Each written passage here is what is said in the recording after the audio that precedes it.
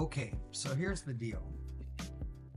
There's a lot of buzz about Adobe and whether or not um, they have the right to, you know, spy on your pictures and use it for their AI purposes and so on and so forth. But here's the thing: is they don't allow us to utilize the things that we want to use. So, uh, for instance, if you do boudoir photography or um, not safe for work content, uh, which is the new buzzword, the AI doesn't allow you to edit those pictures. So today I'm going to give you a quick workaround. Now, obviously on YouTube I can't show nudity, so I've already censored the, the picture, but what you'll see is a workflow and then if you need to use AI to fix some things, like in this picture, it's a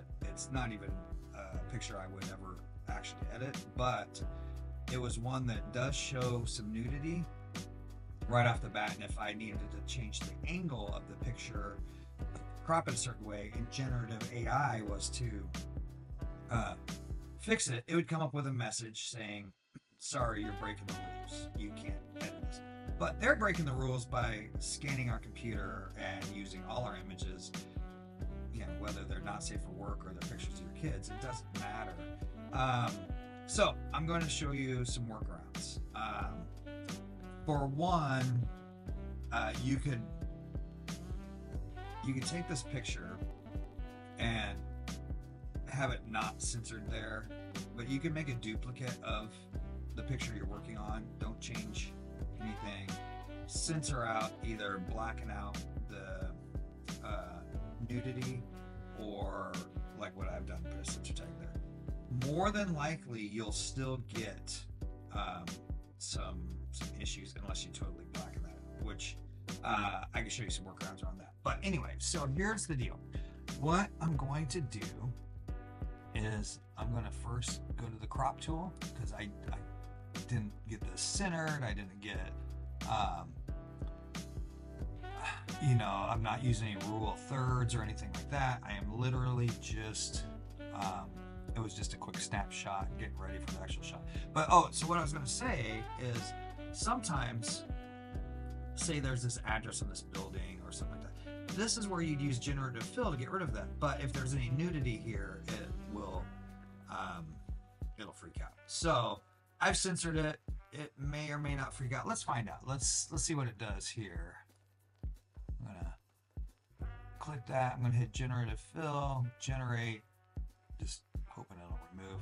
It may give us a message. It may not. Let's find out. No, it didn't because I did censor. But see, if I didn't have this censor here, it wouldn't have taken that out. And same with this piece here. Maybe it'll allow me to choose it. Do the same thing, generate. But I like the essence. I like that uh, my wife here is framed. I like the contrast of colors. This picture, if in the set, I've done a whole set of these um, where we shot kind of downtown. Um, and and we didn't just flash and stuff like that. It was very calculated. But you take this and you know, like I said, this picture here is actually kind of a hard one to salvage. It's not something I would normally use, but uh, I'm gonna go ahead drop those down. It did a good job of getting rid of those things in the doorway. We don't need the address. Those are a distraction. You can get rid of door locks and stuff like that too. I'm not going to go into that for this detail. I just want to show you how to trick uh, Adobe. So here's another thing is I don't like the crop. Um, I think a lot of times we will, as photographers, will shoot something and then later on go, man, I should have tilted my camera this way or I didn't get a good horizon or whatever. Now, if you had any nudity in your picture, even doing this recrop, which I just did, would it would come up telling you no, we can't do it, and uh, and battled it. So you could go and, and crop this out, and then as long as you're not doing any like color changes at this point or anything like that, anything, as long as you start with the generative fill stuff, you could censor that and then go back to your original and uncensor it, line the images up. But um, so I'm gonna click yeah, generative expand, and it's gonna add to that doorway. It, it may still not be right yet, but it's gonna do it because I've put a censor bar over it. Now, like I said, sometimes you gotta do more than that. So if, for example, if you look at my wife's face here, like uh, her chin, her head's back funny, and it's kind of giving her a weird double chin and stuff like that. A lot of times, I would go in with generative fill, and I would select. I'm just going to do it here, even though we've censored it. But you could do this your. You could select here and hit generate and remove double chin or you could say smooth skin, whatever. Um, it may or may not do this. Now, this is, yeah, I mean, AI is controversial no matter what. Oh, there we go. When you encounter an issue with your result, please uh, view our, our guidelines, blah, blah, blah. Because it's seeing that she's got breast tissue here and stuff like that. Pretty silly. Um, that would be an issue. But let's say this was all uncensored and that's the message you'd get. So what I do is I'll select a piece of the image. This is where the actual tutorial goes. I'll select a piece of the image. Oops, this helps if I select the actual image, copy, then I'll hit new. I'll just up the new window and paste that in. Now, if I go in, it may or may not still work, but we're gonna get give it a try. So go here, generate I didn't put anything in the box because I think it, I don't know what I want to do. Uh, no, still uh, view guidelines. So because of this, it doesn't know what I'm looking at. So what we'll do to get it to know is we won't save that one. And we're going to zoom out a little bit. And now we're going to actually include my wife's full face in that just show you how temperamental Adobe is. And they think they're protecting somebody, but they're actually not protecting anybody because uh, it's slowing down a workflow. And the whole point of generative fill is to help with your workflow. So now that I have her whole face in there, and by the way, in this file, I just leave this selected. Don't deselect that. But now that I have this, now what I'm going to do is I'm going to use the lasso tool Select there, generative fill. First we'll do it without saying anything, see what it does. And see there it did it because it sees her whole face and it doesn't see any nudity. What it's doing is it's sending this whole image up to a, a smart computer or somewhere, this case I think a dumb computer, and it will um, edit, you know, through the internet basically. It's not doing it on your computer like you would do. So from here, obviously it gives us three choices. I think that last choice works good, just kind of smooths her chin out. Um, that's really approximately what my wife would look like if she didn't, you know, mispose or whatever. So I'll, I'll flatten that down and then I'll copy this. And I go right back to this. Granted, this area is still selected, and I just paste it right there. It's exact. As long as you leave it there, it's exact. And you look like her hair looks the same, everything. It just smoothed out the skin. Uh, I'm gonna smooth out the skin. Did make her hair strand a little longer and stuff like that. You know, that's acceptable. I mean, we don't need to get crazy. We're not trying to change the person in it. We're just trying to fix the pose.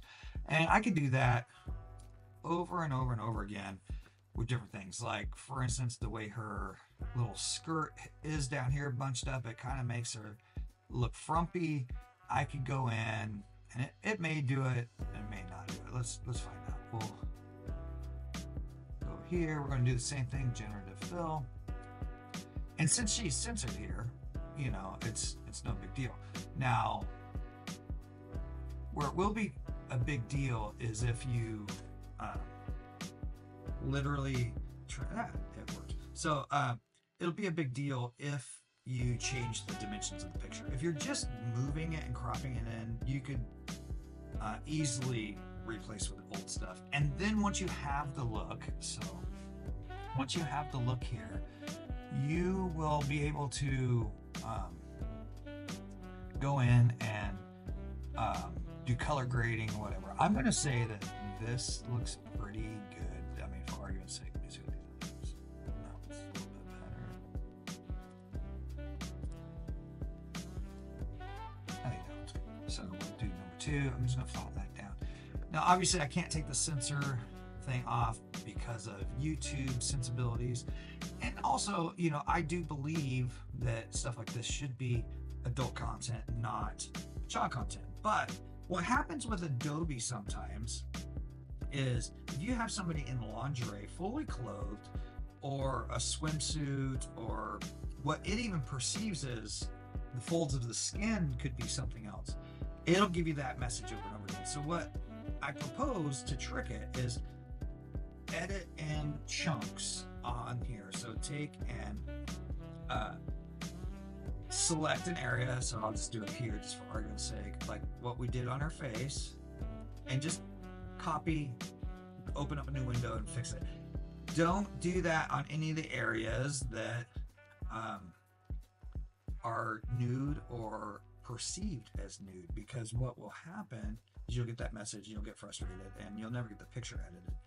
Uh, I don't really need to do anything else here except for um, I, I still don't like the crop. It's not exactly where I want to be. So what I'm going to do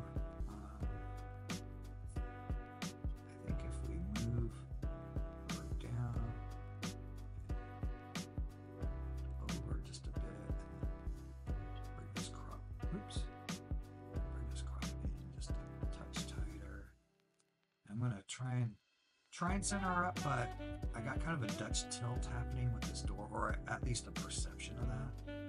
Technically, my camera is tilted and nothing is straight, but um, yeah, I think somewhere in this ballpark would work. hit OK, and it should fill in um, the generative expand parts. And even though they're low res, the um, oh no, see it perceives nudity. It just says, you know, we've encountered problems, blah blah blah. It's okay because I, I am close enough. I can do this and without using generative. We could uh, just go to regular crop. So uh, we could go, which is funny. It let me do it earlier, but uh, with the other censorships that we've done, it wants to be strange. So if you get to this point and you're like, okay, well, now what do I do? It won't let me do it. Uh, the old way of doing things still works great. Content aware fill. I'm going to just get this Dutch tilt back in here. That's pretty good. And yeah, we'll just we'll call that good. So this happens on your computer. So doing content aware fill. Sometimes it's a little much. Um, if you got lots of different patterns that are drawing your eye in different angles, it's not going to be exactly what you want, you know. Uh, but um, in a pinch, if you're trying to get something uh, edited on the fly or whatever, maybe you have a client that you did a boudoir set for, and you need to, you know, you don't want to spend a whole lot of time on something, so you need these cropping tools and stuff like that. Don't be scared to mix between generative fill and uh, content aware fill. Uh, when you get the error messages, content aware fill works great. Or, like I said, once you have um, something right, say you, you get the cor- correct crop and everything, but you don't like everything, you could censor an area or, or copy it, censor an area, go back and use generative fill along the outside and say, hey, you know, reframe, or um, you could put, uh, you know, add trees or whatever is in your your desire, you know, ex- extend background, whatever. And as long as you censor that area really good, it'll be fine. Then copy that paste it back over, and then erase the censor part. As, as long as you didn't change the frame at that point, you're going to be fine. So anyway, just a quick little tip to show you how to do this. This picture here, uh, I'll probably, actually now that we've gotten this far, I'll probably take and um, do a version like this, but you'll notice that we got rid of the address, you know, it's very nondescript. And if I paste this in over uh, the picture of her, I could get rid of uh, the censored mark very easily. Uh, I corrected her little double chin that she had. That was one of those things that would annoy you as the photographer, but also not impress the model. And, you know, that stuff happens on the fly when you're out doing shots until you get home. Sometimes the shot you like has something that you don't like in it. So that's where you could use generative fill or expand or any of that to um, to fix things that uh, you didn't get in the camera. Now, you don't want it to be a fake picture. Don't go in and, and do all that. Don't be mad at Adobe for trying to censor, but you can go and uncensor them by taking pieces of the image instead of the whole image, you know.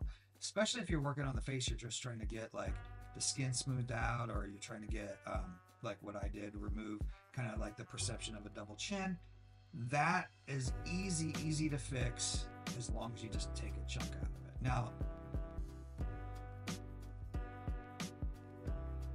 uh, you could also do the reverse of this, and once you have everything edited and uh, the skin tones correctly, like this doesn't have the skin tones right and everything, but um, everything's smoothed out, and, and you're just at that final stages, you could go back in and do exactly what I did, and it might may even be easier because um, uh, you you've gotten everything kind of to that 90% mark and um, you don't have to recreate the wheel.